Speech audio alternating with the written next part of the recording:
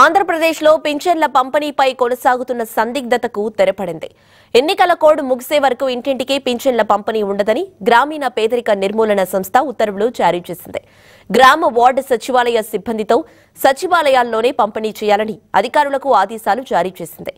ఎన్నికల కోడ్ కారణంగా వాలంటీర్ల ద్వారా పింఛన్లు పంపిణీ చేయకూడదని స్పష్టం చేసింది.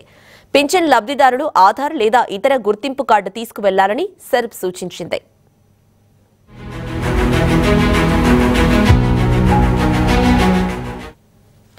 పింఛన్లు సహా అన్ని నగదు పంపిణీ పథకాలకు వాలంటీర్లను దూరంగా ఉంచాలని కేంద్ర ఎన్నికల సంఘం ఆదేశించింది. ఎన్నికల నియమావళి ముగిసే వరకు వారి వద్ద ఉన్న పరికరాలను జిల్లా ఎన్నికల అధికారుల వద్ద డిపాజిట్ చేయాలని స్పష్టం చేసింది. అమల్లో ఉన్న పథకాలకు సంబంధించిన ప్రయోజనాలను ప్రభుత్వ సాధారణ ఉద్యోగుల ద్వారా అందించేందుకు వీలుగా ప్రత్యామ్నాయ ఏర్పాట్లు చేయాలని రాష్ట్ర ప్రభుత్వానికి సూచించింది.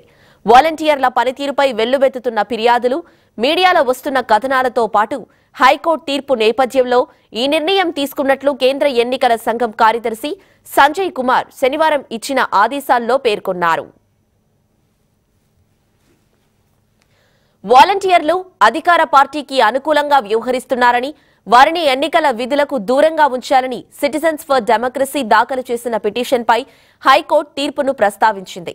ఎన్నికల ప్రచారంలో పాల్గొనొద్దని సీఎస్సీ ఆదేశించినా కొందరు వాలంటీర్లు పెడచెవిన పెడుతున్నారు. వైసీపీ అభ్యర్థులకు ఓటేయాలని ప్రచారం చేస్తున్నారు.